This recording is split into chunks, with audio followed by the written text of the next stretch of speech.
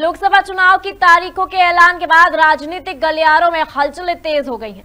राजनीतिक पार्टियाँ एक दूसरे पर निशाना साध रही हैं। वहीं छत्तीसगढ़ में पूर्व सीएम भूपेश बघेल पर हुई एफआईआर को लेकर कैबिनेट मंत्री केदार कश्यप का बयान सामने आया है।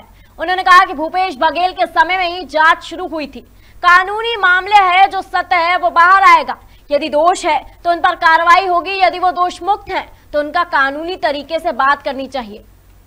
कि भूपेश बघेल जी के समय में ही जाँच प्रारंभ हुई थी, जैसा कि उनका कहना है। तो मुझे लगता है कि भूपेश बघेल जो को अपनी सत्यता, उसको लोगों को, उनके पास में जाकर बात करनी चाहिए। और कानूनी मामला है तो कहीं ना कहीं से जो सत्य है वो बाहर आए और किसी भी मामले में यदि दोषी हैं तो उस दोषी होने के नाते उन पर यदि दोष है तो उन पर कार्रवाई हो। और यदि दोष मुक्त हैं तो उसके दृष्टि से उनको कहते हैं सबके सामने में स्पष्ट करना चाहिए।